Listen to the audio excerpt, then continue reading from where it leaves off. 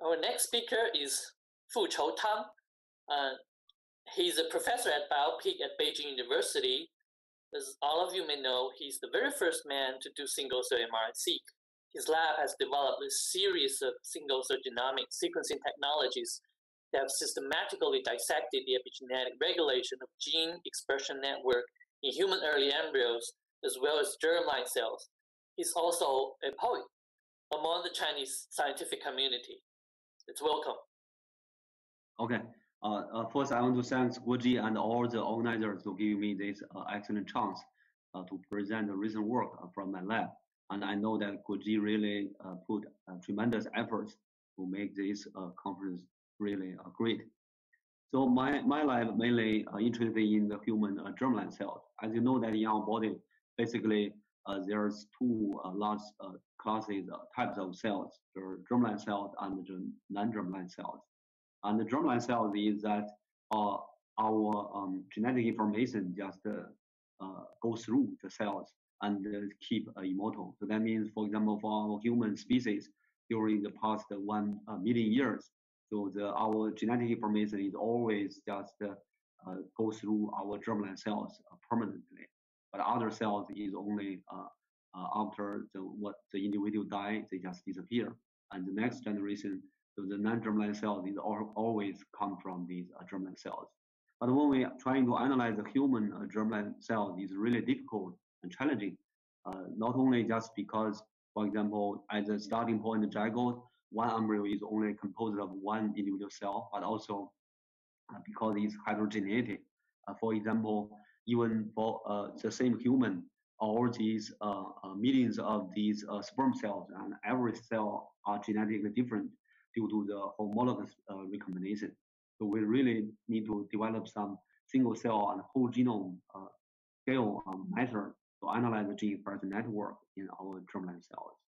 So 11 years ago, uh, once did, to, uh, did postdoc uh, in UK, so we developed the first single cell RNA-seq uh, technology. So with this technology in hand, just using one cell as from mouse or human, we can analyze all the 20,000 known genes expression accurately.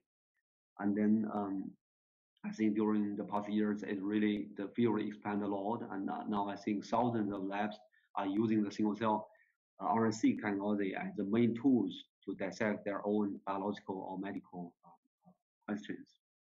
And then uh, 10 years ago, I came back, uh, went back to uh, Peking University to set up my own lab uh, I want to analyze the epigenetic regulation of gene expression in the human um, germline cells.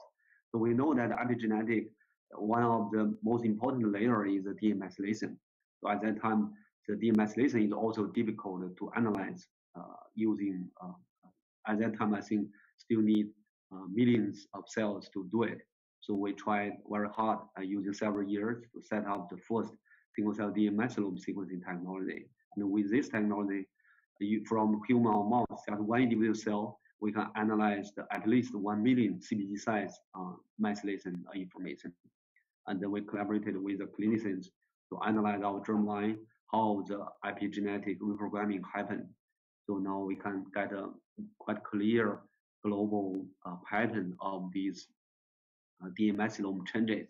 That means essentially for every CpG sites in our human genome, and go through our uh, uh, whole embryonic development, we can know when it is fully methylated, when its methylation is removed, and when it is uh, come back again. So today I will not talk too much on this topic. And uh, several years ago, we also trying to develop a single cell uh, multi-omics sequencing technology can analyze both the DNA methylation and the chromatin accessibility simultaneously in the same individual cell we because we know that the chromatin state or chromatin accessibility is also crucial to regulate gene expression.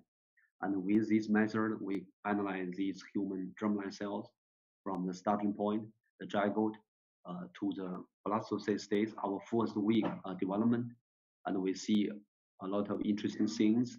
I will not cover the detail, but the key point is that we find a lot of interesting things is unique to our human species but not exist in this mouse uh, model. So I think this is critical because the, during the past 30 years, we always rely on this mouse model. So if it's some mouse and human conservative things, we already see it. But if it's some human unique ones, we never even know it exists. So of course we will not know how evolutionary if it is important and how it works. But now with this in hand, we can really uh, see these human unique features and uh, human human unique features and uh, uh, uh then we will know our unique uh, biology.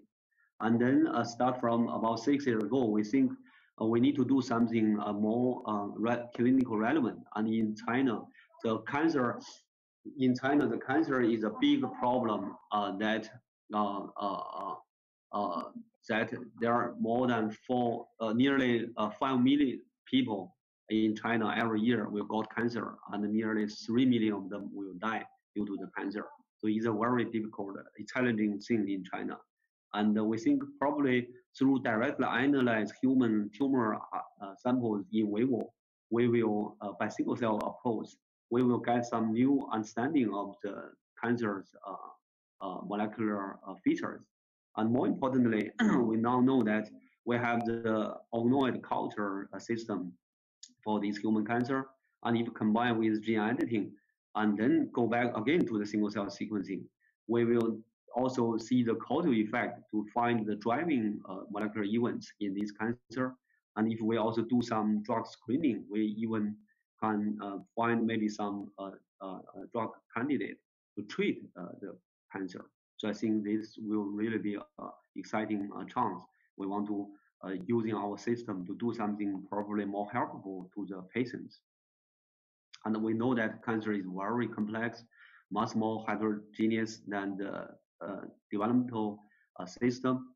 And because it contains both uh, cancer epithelial cells and microenvironment cells. And for the microenvironment cells, it also including the immune cells, fibroblasts, and the endothelial cells. And for the immune cells, it also uh, contains T cell, B cell, and many different types. So, so several years ago, when we started trying to working on this, we're trying to uh, develop a single cell multi-omic sequencing technology, uh, can analyze both the transcriptome, the DNA methylome, and also the uh, genome copy number variation simultaneously. We call it single cell uh, trio-seq. So with this technology in hand, we collaborated with Professor Wei Fu's lab to analyze the human uh, colorectal cancer patient sample. So we choose a relatively uh, uh, or late stage uh, tumors, so we can get the primary tumor, the metastasis at the lymph node side or the on the liver, or even some uh, recurrent uh, malignant, recurrent tumors. and even for the same tumor, we try to separate different positions and then keep this for this information and then do the single cell multi-omics uh, sequencing. So we're using this uh, intra-chromosome breakpoint to clearly separate these tumor cells into different clones in the same patient. And uh, here is one of the example from this patient. You can clearly see at the primary tumor uh, site, there's two major uh, clones, the clone A and B and they also have some further subclones. And very excitingly, we find that in fact, sorry, so can you see my, and uh, we, we can see that basically when they metastasize to the lymph node, it's only this uh, A clone just uh, do that. The B clone don't metastasize at all. And when they when you go to the liver uh, uh metastase site, is also from the A clone. So that means it's really only the A clone just uh, uh, metastasized to these uh, uh, distal uh, organs. And for this patient, uh, half a years later, they, the, there's a recurrent tumor also on the liver. So the, the, the patient received the second surgery and we analyze these tumor cells and again it's from this A group but not from B. And then the next question we want to ask is very straightforward. So how about the demethylation in these cancer cells? So do they change or not? So from this figure, you can clearly see the methylation is strongly decreased in these uh, tumor cells. So here is from one patient. So the first, the left column is from the uh, normal epithelial cells, and the right side is all from the tumors, but at different side. And you can see every individual cancer cells, the methylation is decreased And then uh, the second question we want to ask is how about the heterogeneity? And you can see even for the different cancer cells from the same patient, the methylation is very heterogeneous. Although all of them are methylation decreased, but in some cells they only decrease 10%, but in other cells the decrease can up to 35%. So that's huge because we know that in one individual cells there's 28 million CPG sites, and if it's 35% methylation change. That means for more than 10 million CPG sites, the methylation will from the 100% to 0%. And then how about the heterogeneity? Do they just uh, randomly distributed or just have some pattern? And we find that in, in, in general, the heterogeneity mainly happened more in these primary tumors. But for the metastasis side, the, um, the, the methylation uh, variation is uh, relatively less. And then the next question is for this heterogeneity of the demethylation between different uh, cancer cells in the same patient. So are they just between different genetic clones or even within the same clone? So here are some examples. So again, the left first column is from the normal epithelial cells, and these are different cancer clones. And you can say in general, in the same clone, different cells have similar DNA demethylation level, but between different clones, the methylation level can be quite different. So that means the heterogeneity of this demethylation in the same patient, but between different cancer cells, it tend to be happen between different uh, genetic clones. But in the same clone, they see they keep relatively similar methylation uh, levels. And the next question is uh, straightforward.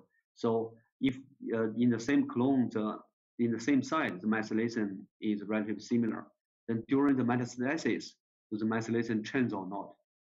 So here are some examples. So again, the left column is the, from normal epithelial cells, and the right ones are from one genetic clone, but at different primary sites, uh, uh, different tumor sites in this patient. You, you, can see from the primary tumor to the metastasis and lymph node or the liver or the recurrent one, basically the methylation don't change. So that means during the metastasis, so basically, the demethylation don't change in the same uh, genetic clone.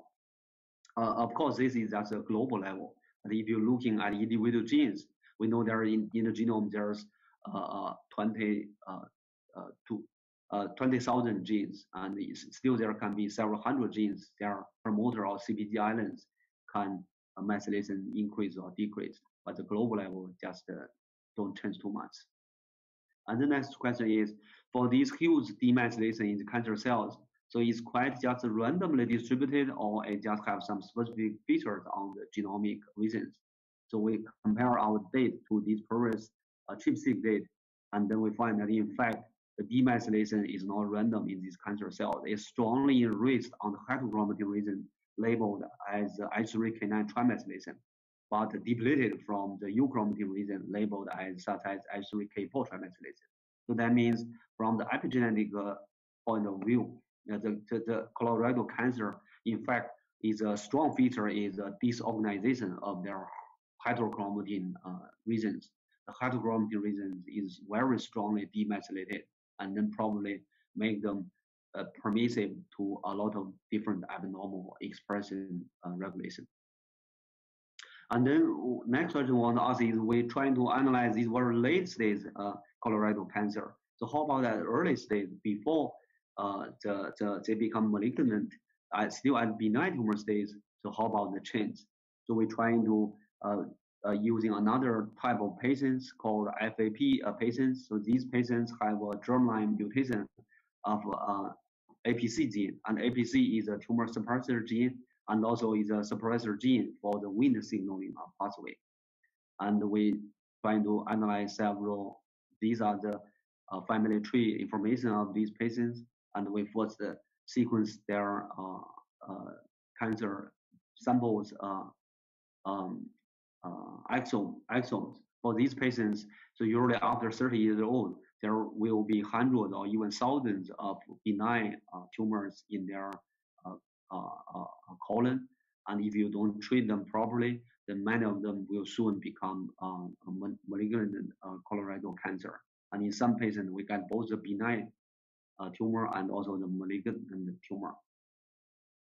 And uh, basic from these original specific exome sequencing, we can reconstruct the uh, genetic lineage tree of these tumor cells in the same patient.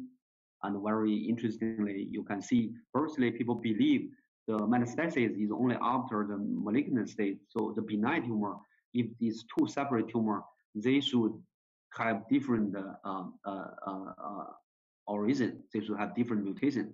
But what we see is that in some cases, in fact, even it's physically separate benign tumor, they still share many uh, point mutations. So that means they have the uh, same uh, origin from the starting point. So we think this is reasonable for the for the colon because we know that for the colon, the epithelium, there's a progenitor or the stem cells and then probably at the stem cell stage, they accumulate some mutations, and after divide, they physically separate into different places, and later be, become a different benign tumor. So that means it's not only after the malignant, malignant stage, the tumor will become uh, uh, uh, can, can migrate. In fact, at the benign stage, uh, at least for the colon, it can also physically uh, migrate and separate and become different uh, benign tumors.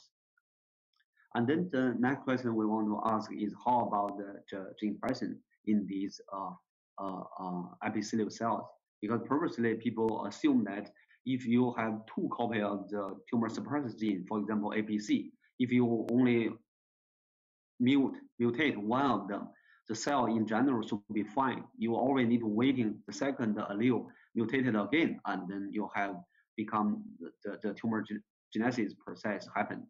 But surprisingly, we find that that's not the case because we find when we compare to the normal, the tumor adjacent tissues from other uh, sporadic uh, colorectal cancer patients, we find that these uh, so-called normal cells from these FAP patients, the epithelial cells, in fact, their gene expression is already dramatically changed compared to the other uh, sporadic colorectal cancer patients' tumor adjacent normal tissue. And and in these cells, both the uh, metabolism and the cell cycle uh, changed a lot. So that means if you only lose one copy of this tumor suppressor gene APC, essentially every of these um, uh, colon uh, epithelial cells already changed their uh, identity. And we want to confirm this, so we do a, a immune staining of the Ki67, and you can see from these uh, normal tissues from the sporadic colorectal cancer is quite the cell cycle uh, is not so active. But in these FAP patients, even these morphologically normal epithelial cells, most of them are in the active uh, proliferating. And the next question we want to ask is, for example, we know the the the uh, uh, uh, TCA cycles or the uh, TCA cycle is uh, decreased in the malignant tumor cells compared to the normal epithelial cells. And then how about the early benign stage? So we analyze our data and we find in fact, um, when you compare the normal uh, epithelial cells and the benign uh, tumors, the TCA cycle uh, or the metabolism, metabolism already strongly decreased. But from the benign stage to the malignant stage, it just uh, recover to some extent, but still lower than the normal epithelial cells.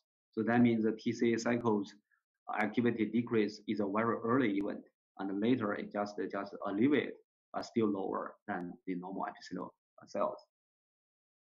And then the next question we want to ask is about the, the tumor microenvironment.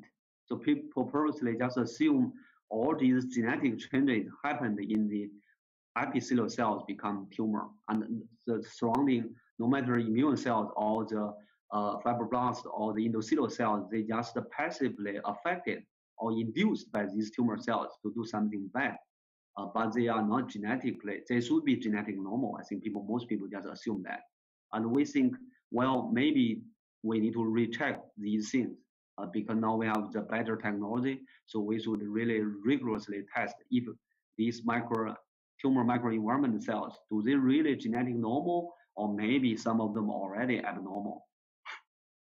So we're trying to separate these uh, um, uh, uh, uh, different type of these immune cells and uh, uh, uh, epi, and fibroblast cells and also the um, endothelial cells, and then do the single cell multi-omic sequencing to analyze both the transcriptome and the genome in the same individual cell.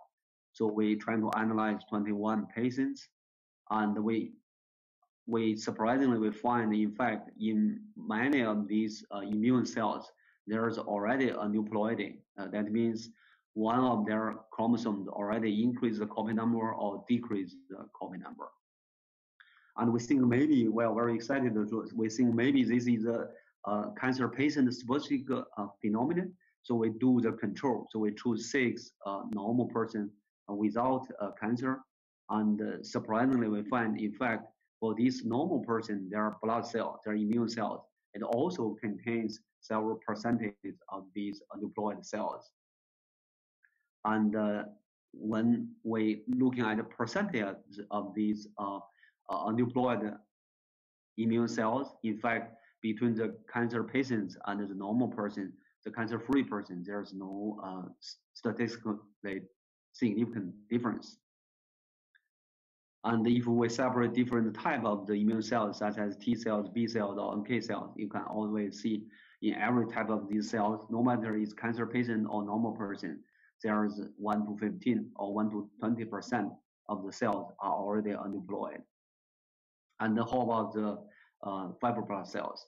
And when we looking at fibroblast cells, we also see uh, there's quite a percentage of them are aneuploid ones. And more excitingly, we find, in fact, if you look into a normal epithelial cell from the tumor adjacent tissues, uh, they have relatively low percentage, about uh, 1 to 11% of uh, these uh, fibroblast cells are aneuploid. But if you're looking at these uh, fibroblast cells in the tumor tissues, it's much more uh, higher percentage, about fourfold of higher, so around one, 10 to about even 40, 47%. So that means in the, and more importantly, when we are looking uh, exactly which chromosome is affected, we, we are very happy to see that in fact, for these fibroblast cells in the tumor tissues, the, is already have some clonal expansion because you can clearly see in the normal uh, tissues, the fibroblast seems the copy number change the chromosome is relatively random. But in these uh, uh, tumor tissues, the fibroblast is mainly the chromosome 7 copy number gain. And when we're also looking at the endothelial cells, we also see the phenomenon, but still can't see too much difference between the uh, normal tissue and the tumor tissue. And we're also looking at the transcriptome and find several markers. It's very nicely connected to the prognosis of these uh, tumor patients. And we confirm there are specific expression in the fibroblast cells in these uh, uh, tumor samples, but not in the normal tissues. And we think these are really quite nice candidate for the prognosis of the colorectal cancer, or maybe even for other cancer, because the fibroblast is a common uh, component of many uh, different uh, tumors. So I think the uh, the most exciting point is that, in fact, and also maybe sadly, we every individual of us, uh, we all are genetically mosaic at single cell level. So that means if you take some blood of yourself, I believe that 1 to 15% of the cells will be aneuploid. So, uh, so we think maybe they will connect with a lot of different diseases. So this is our simple idea. So we think probably uh, ManyLab can do in this way and do some contribution to the cancer field. And finally, I want to thank um, many of my collaborators, especially Professor uh, Wei Fu, for the happy collaboration, and thanks all the students in my lab. Uh, all the work done by them. And uh, thanks, Guoji. Thanks, for Fuchou. Very nice talk on single cell cancer genomics. Um, so let's see any question from Slido. Um, so Xiang asked one question. Um, hmm. I also, uh, you know, uh, copied it into the message uh, mm. box. So fascinating to see that methylation heterogeneity is greater in primary tumor. Is this because mets are younger or maybe selection pressure is greater in mets? Oh, I think this is mainly because in the primary tumor there's more genetic clones. Uh, and we saw that the, the heterogeneity is mainly between different clones. And for the metastatic side, it's only usually just less clones there, and then the heterogeneity is, is usually is less. So Xiang asked another question. Mm. Uh, amazing results on CAF, uh, somatic variations. Uh, any mm. ideas of the functional consequences? Uh, yeah, I think this is a very great question. So, so I think uh, first, uh, because we just assume that it's a cancer patient specific feature, for example, in these immune cells, but but sadly we find it in fact is also in the normal person. And then we think in the other way, so probably these cells are already bad to, to, to some extent. So maybe later when you have other um, many different uh, genetic related disease, if you have some, it just have, add some seed uh, uh, for example, if you have uh, uh, some some, for example, the the the I think many disease probably just these bad cells, genetically bad cells will contribute because it, it's already in the say one cell about 1,000 genes charging person doses either increased 50% or decreased 50%. So it must be these cells have some problem. And specifically for the fibroblast, we find that in fact the percentage in the tumor and the percentage in the normal tissue increased fourfold. So I think, and also the clonal expansion. So I think definitely they should have some selection and must contribute to the tumor genesis uh, process. But we haven't have the direct evidence. I think hopefully many people will join to together to see how this microenvironment genetically permanent change will promote the tumor genesis. So I think now we find the interaction between the epithelial and the non-epithelial cells. I think this is really a new idea for the uh, tumor study. Right. Then I have one question.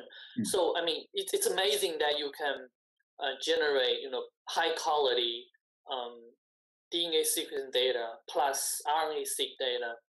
Um, you know, from the DNA uh, mutations, you can group them into different clones, and mm. from RNA, uh, you can separate them into phenotypic different uh, groups. And how mm-hmm. would you know a genome mutation correspond to phenotype in your in your data? Yeah, I think it's a very nice question, but uh, because we don't do a very large scale, so now the number of the cells with this aneuploidy is not so many. We only capture I think less than 1,000 in total, so we can still not see too much difference. But I think now uh, Professor Yan Yi Huang and uh, Professor uh, um, uh, Jianbin Wang, they are doing uh, uh, another work and at a much larger scale and mainly in the healthy person. And I think they have a lot of exciting uh, uh, uh conclusions. So hopefully soon their paper will also be published.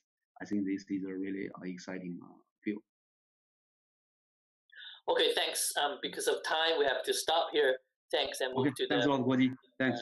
speaker. So we will come back in a few seconds. Thanks. Thank you.